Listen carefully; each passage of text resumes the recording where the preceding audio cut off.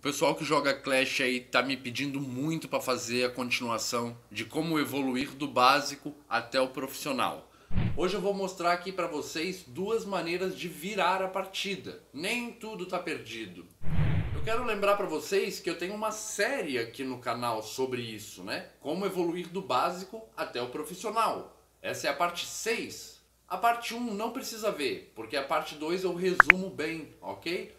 Então ali tem muita dica. Tem dica até demais na parte 2. Por isso eu resolvi na parte 3 trazer uma dica de como vocês podem tirar minhas dicas do vídeo e botar para arena. Essa é a parte 3, dá uma olhada lá. A parte 4 é a Arena do Feijão, uma coisa que eu inventei, né? Arena do Feijão, é tipo assim, uma, parece uma besteira, mas é para a pessoa entender aonde que elas jogam Elixir errado, aonde que elas desperdiçam Elixir e a partida vai embora, entendeu? A parte 5, eu dou umas dicas lá. Qual que é a parte 5, gente? Ah, é. A parte 5 é o resumo das dicas. Todas as dicas dos quatro primeiros vídeos. E hoje eu quero trazer para vocês duas dicas adicionais a isso tudo que eu passei. Aquele vídeo de 18 minutos tem dica assim que até hoje, 5 anos de Clash Royale, tem gente que não se liga. Lembrando que essa série aqui no canal não é dicasinhas de Clash, isso aqui são anotações. Eu via que todo mundo perdia pelo mesmo motivo e eu tô trazendo aqui para vocês para vocês não cometerem esses erros e ganhar as partidas. Como ficar botando defesa antes do adversário atravessar a ponte, isso é horrível. Os caras perdem a partida e nem sabe da onde. Depois no final eles só falam: "Ah, como é que o cara tem tanto elixir?" Né? Vocês sabem que eu falo, né, lá nas dicas, que o importante é tu começar bem, né? Se tu começar já mal por um lado, hum, provavelmente você vai perder, a não ser que você consiga no exato momento puxar a partida pro outro lado.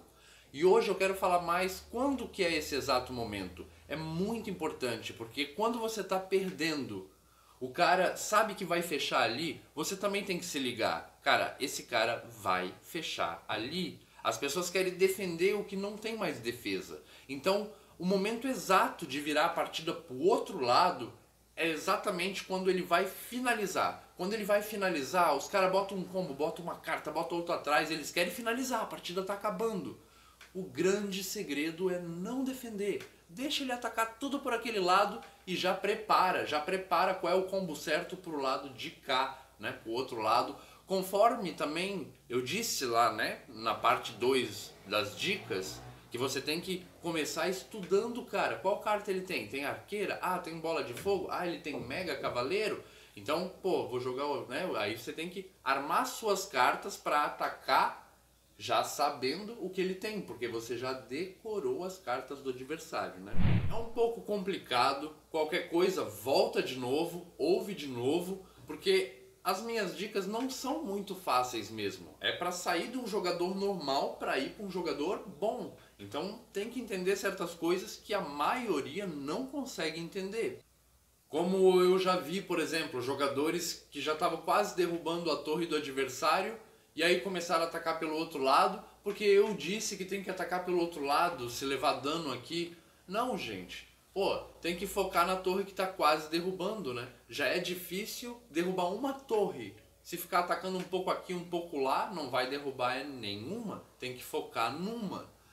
Porém, quando o cara tem um deck muito defensivo, tipo Torre Inferno, aquele esqueleto bomba, aí também não adianta ficar forçar de um lado, porque não vai chegar na torre. Tem que esperar o determinado momento que ele botar um esqueletão ou né, uma Torre Inferno para armar pro outro lado também, né? É muito importante nesse jogo tu decorar as cartas do adversário, né? Pra na jogada final tu saber o que fazer, porque tu já sabe tudo que ele tem.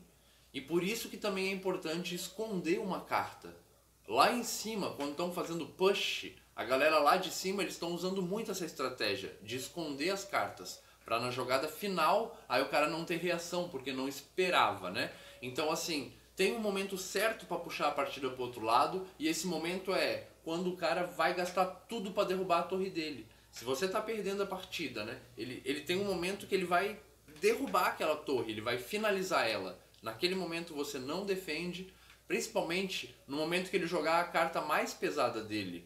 ou se ele fizer um combo jogando duas cartas, né? Esse é o momento para puxar para o outro lado e conseguir fazer o empate, né? E continuar numa partida que já estaria perdida. Se você não fizesse isso, você não teria chance nenhuma. Fazendo isso, você tem uma chance ainda de empatar e continuar a partida, né?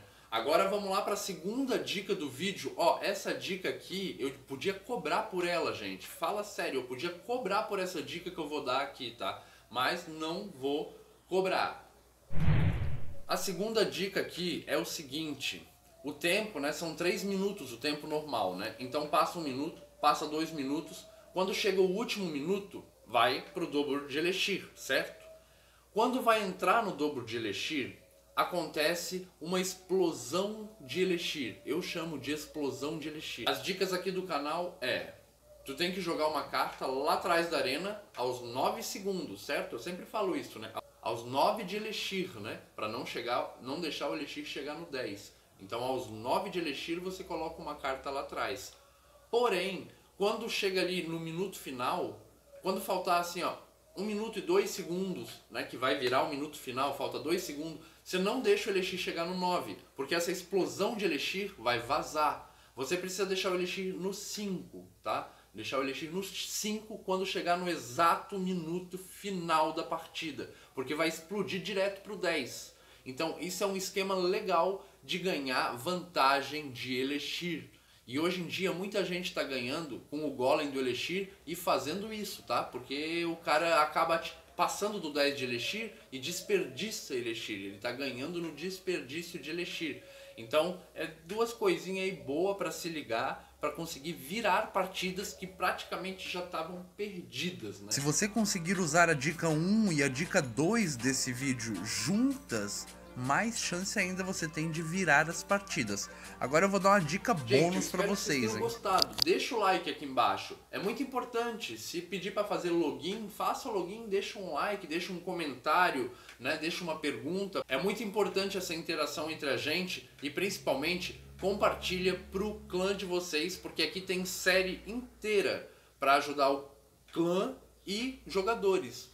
Tem uma playlist inteirinha só para ajudar jogadores do básico até o profissional e tem outra playlist inteirinha só para ajudar clãs que do zero, né? Eu ensino lá também a criar o clã em uma hora, né? Já lota. Isso eu também poderia cobrar por isso, né? Mas eu não estou cobrando. Por que, que eu não cobro, né? Falando nisso, gente, apoie o canal aí, ó. Primeiro link da descrição. Dá uma ajuda pro canal se manter vivo, fazendo vídeo e ajudando muito as pessoas com dicas que nenhum outro youtuber dá aí na internet, tá? Dá uma força aí, porque tá difícil. E lembrando também, quem quiser umas camisas personalizadas, ó, R$ 49,90, tá? Vocês podem também apoiar o canal aí embaixo, a gente sorteia umas camisas dessa, gift card. É só entrar em contato aí com o canal.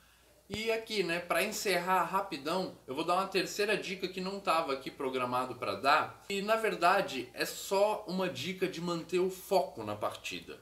Porque aquelas dicas básicas lá do vídeo de 18 minutos, como evoluir do básico ao profissional, parte 2, ou aquelas dicas lá do resumo, né? Resumo das dicas aqui deste canal. Eu resumi todas as dicas em um vídeo de 5, 6 minutos. Aquele vídeo é uma joia, é uma chave para vitória, aquele meu vídeo, né? Só aquele vídeo eu podia cobrar também, fazer um curso de Clash Royale com aquele vídeo, cobrar 20 pila de cada um para quem quiser assistir.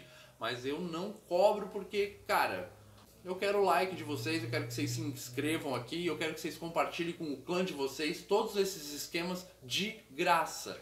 Claro, quem quiser apoiar o canal, primeiro link da descrição, dá uma contribuição lá, dois reais, cinco reais, cinquenta reais. Mas, oi! E ultimamente eu sempre deixo um super prêmio para quem assiste o vídeo até o final. E a dica que eu dou é fazer o que eu faço ali na parte 3, anotar tudo no papel, todas as dicas de todos os vídeos, porque quando você está jogando, você não lembra do meu vídeo, mas se você escrever no papel, você vai lembrar de tudo.